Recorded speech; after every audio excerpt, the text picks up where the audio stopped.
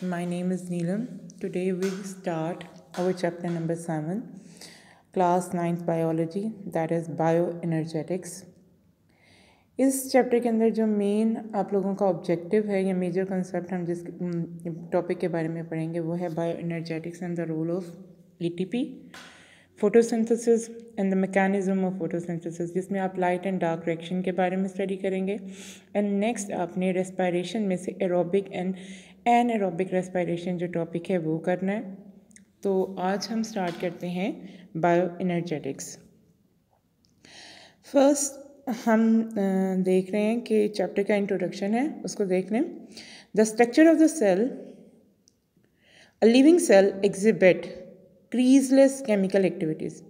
अगर आप एक लिविंग सेल की बात करें तो लिविंग सेल के अंदर मुख्तलिफ़ तरह के जो हैं, वो केमिकल रिएक्शंस हो रहे हैं। We should study that cells are like open system, that is, substances are entering and leaving the cell all the time. कि सेल जो है, ये एक ओपन सिस्टम है, जिसमें से सेल कुछ सब्सटेंसेस को अंदर आने की परमिशन देता है अलाउ करता है और कुछ सब्सटेंसेस जो हैं, वो सेल से बाहर आउट जाते हैं। तो इसका मतलब है कि सेल ऑल टाइम सब्सटेंसेस को एंटर और एग्जिट करने में हेल्प करता है। Inside cell substances are broken down and new substances are form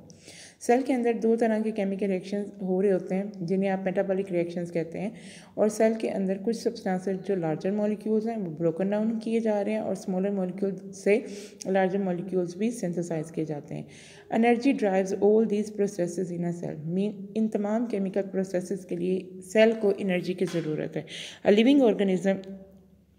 energy exist in two form living organism में एनर्जी आपके पास दो फॉर्म में होती है काइनेटिक एनर्जी जो कि आपकी एक्टिवली इन्वॉल्व है डूइंग वर्क में, और potential energy stored for future use mean किसी भी ऑर्गेनिज्म में जो एनर्जी स्टोर की जाती है फॉर फर्दर यूज़ उसे आप उसकी पोटेंशियल एनर्जी कहते हैं, और वो एनर्जी जो किसी भी ऑर्गेनिज्म में किसी भी काम करने को करने में हेल्प करती है, वो एनर्जी आपके पास काइनेटिक एनर्जी कहलाती है।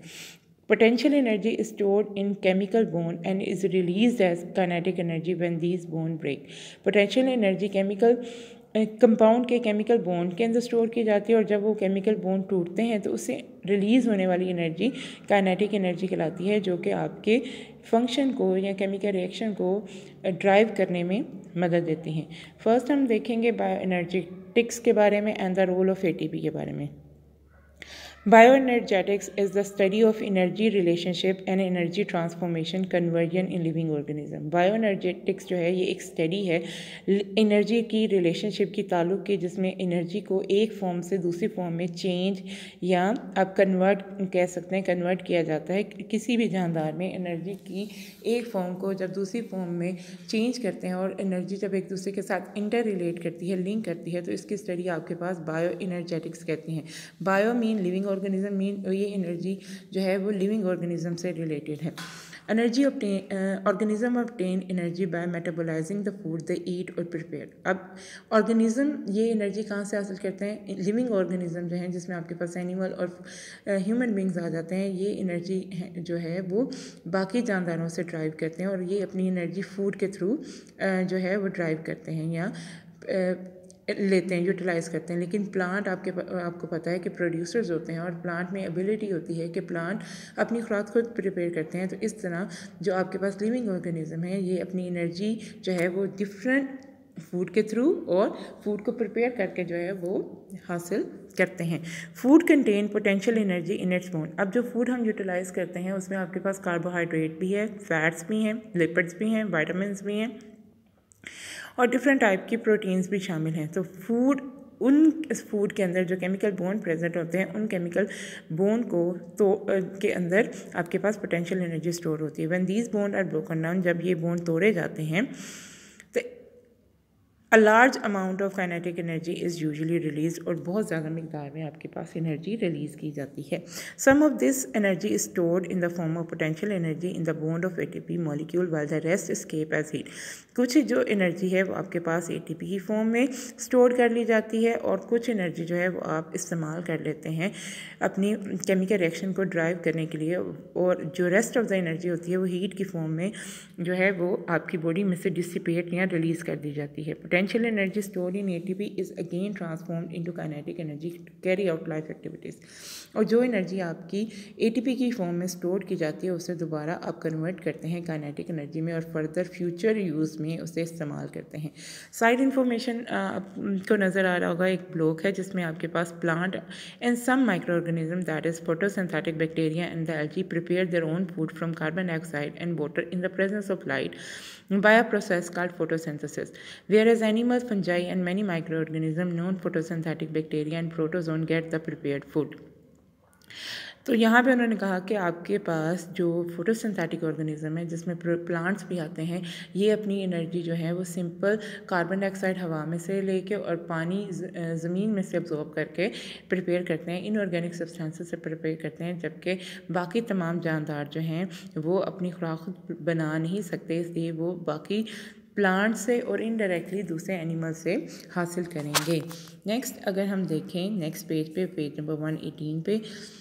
आपके पास एक फ्लो चार्ट है जिसमें आपके पास नज़र आ रहा होगा कि reduction of carbon dioxide foodstuff के अंदर, जो फ़ूड आप यूटिलाइज करते हो they is basically an organic compound उसमें कार्बोहाइड्रेट प्रोटीन वाइटामिन लिपिड्स मौजूद हैं। एंड ऑर्गेनिक कंपाउंड आपको पता है कि इसका मेन कंपोनेंट आपके पास carbon hydrogen oxygen sulphur and nitrogen होता है। लेकिन यहाँ पे हम बात करें फ़ूड स्टफ़ की कार्बोहाइड्रेट की, जिसके अंदर carbon hydrogen and oxygen present है। अब ये क्या करती है? Carbon dioxide gas input of energy light या सनलाइट की मौजूदगी में फ़ूड स्टफ़ प्रिपेयर करती है that is C H O and oxidation of foodstuff to release energy बाद में क्या किया जाता है कि जब इस फ़ूड बोन को यूटिलाइज़ किया जाता है तो हीट एनर्जी जो है रिलीज़ की जाती है। कुछ हीट एनर्जी की फॉर्म में रिलीज़ हो जाती है, कुछ प्लान बॉडी अपने अंदर इसी को ए टी पी की फॉर्म में स्टोर कर लेती है। बाद में जब आपकी बॉडी डिफरेंट काम करती है एक्टिव ट्रांसपोर्ट हो गया मेंटेनेंस हो गया डिफरेंट केमिकल जो है सिंथेसिस हो गए तो उसके अंदर आपकी एटीपी में स्टोर जो पोटेंशियल एनर्जी है, उसे कन्वर्ट किया जाता है काइनेटिक एनर्जी में और जो एनर्जी आपके इन डिफरेंट प्रोसेसेस के लिए ज़रूरी होती है, वो आपके वो प्रोसेस रन करते हैं, लेकिन बाकी जो एनर्जी है एक्सेस अमाउंट ऑफ़ एनर्जी आपकी बॉडी में से रिलीज़ कर दी जाती है। Now oxidation and the reduction reaction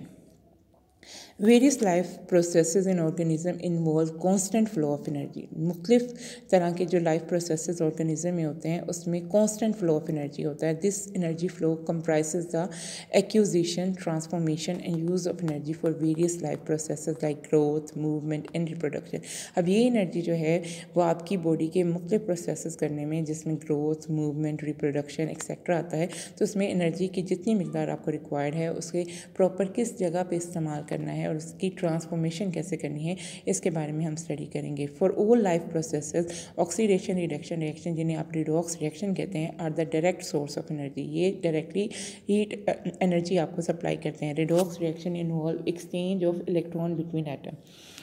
The loss of electron is called oxidation, while the gain of electron is called reduction. मीन अगर एटम या कोई भी कंपाउंड अपने इलेक्ट्रॉन लूज़ करता है तो लूजिंग ऑफ़ इलेक्ट्रॉन ऑक्सीडेशन कहलाता है, और अगर इलेक्ट्रॉन जो है एटम इलेक्ट्रॉन गेन करता है तो गेनिंग ऑफ़ इलेक्ट्रॉन आपके पास रिडक्शन कहलाता है। और ये जो रिएक्शन है रिडॉक्स रिएक्शन है, ये बेसिकली एक्सचेंज ऑफ़ इलेक्ट्रॉन है एटम के दरमियान में, और ये direct source of energy supply करते हैं। Electron can be an energy source electron जो है वो आपके पास एनर्जी सोर्स है. It depend upon their location and arrangement in atom ये डिपेंड करता है कि ये एटम की किस जगह पे लोकेट करता है और इसकी अरेंजमेंट क्या है. For example when they are present in oxygen अगर ये ऑक्सीजन में प्रेजेंट है they make stable association with oxygen atom and are not good energy source mean अगर same type of atom chemical bond बनाए तो same type of atom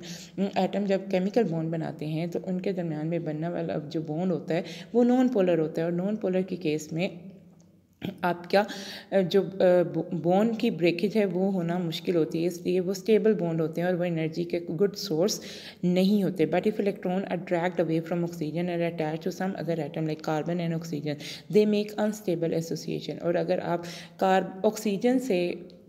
electron निकाल लें drag कर लें और उसे किसी और एटम कार्बन या हाइड्रोजन के साथ अटैच कर दें तो उनके दरमियान में बनने वाला बॉन्ड मीन कार्बन और ऑक्सीजन के दरमियान में बनने वाला बॉन्ड और ऑक्सीजन और हाइड्रोजन के दरमियान बनने वाला बॉन्ड जो होगा वो अनस्टेबल एसोसिएशन होगी और अनस्टेबल एसोसिएशन की वजह से इलेक्ट्रॉन ईज़िली लूज़ और गेन किए जा सकते हैं। They try to move back to oxygen and when this happen energy is release in living organism redox reaction involve the loss and gain of hydrogen atom living organism में redox reaction का मतलब क्या है? Loss and gain of hydrogen atom if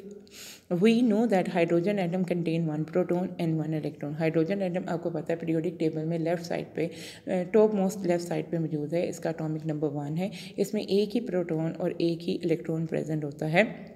It mean that when a molecule loses a hydrogen atom अगर कोई molecule hydrogen atom loose करता है usually loses an electron तो वो असल में किसको लूज़ कर रहा है? इलेक्ट्रॉन को लूज़ करता है. तो lose of hydrogen atom is equal to oxidation similarly when molecule gain hydrogen atom it's actually gain an electron and gaining of electron is known as reduction mean अगर आप किसी भी आइटम में से हाइड्रोजन रिमूव करें तो oxidation है, और अगर हाइड्रोजन ऐड करें तो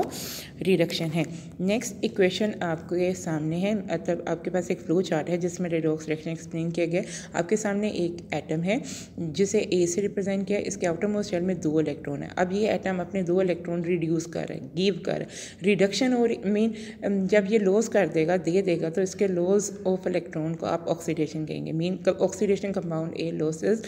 electron अब सेकेंड टाइप इसके नीचे आपके पास एक एटम है बी जो कि ये दो इलेक्ट्रॉन गेन करे और गेनिंग ऑफ़ इलेक्ट्रॉन रिडक्शन कहलाता है। गेनिंग ऑफ़ इलेक्ट्रॉन रिडक्शन है लूजिंग ऑफ़ इलेक्ट्रॉन ऑक्सीडेशन है। तो ये था आज का आपका टॉपिक जिसमें आपने स्टडी किया बायो के बारे में। बायो इस चैप्टर में आपने इस टॉपिक में से आपने स्टडी करनी है बायो एनर्जेटिक्स डेफिनेशन याद करनी है। डेफिनेशन के बाद जो है आपने ये देखना है कि ऑर्गेनिज्म किस तरह एनर्जी को ट्रांसफॉर्म करते हैं एक फॉर्म से दूसरी फॉर्म में। उसके बाद आपने ऑक्सीडेशन रिडक्शन किया और हमने ये देखा कि ऑक्सीडेशन रिडक्शन रिएक्शन जो है वो ऑर्गेनिज्म के अंदर डिफरेंट केमिकल प्रोसेस को रन करने के लिए एनर्जी सप्लाई करता है और ये डायरेक्ट सोर्स है एनर्जी का, क्योंकि इसमें लॉस ऑफ़ इलेक्ट्रॉन ऑक्सीडेशन है गेनिंग ऑफ़ इलेक्ट्रॉन आपके पास रिडक्शन है और और electron is act as a source of energy लेकिन लिविंग ऑर्गेनिज्म में हम इलेक्ट्रॉन के लॉस और गेन के बजाय हाइड्रोजन को देखते हैं और अगर कोई एटम हाइड्रोजन लॉस कर रहा है हाइड्रोजन उसके एटम मॉलिक्यूल से रिमूव किया जाता है तो वो इक्वल है, वो इक्वल है आपके पास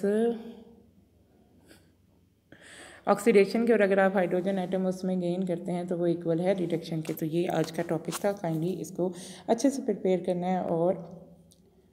तैयारी करनी है आपने अच्छे से। अल्लाह हाफिज़।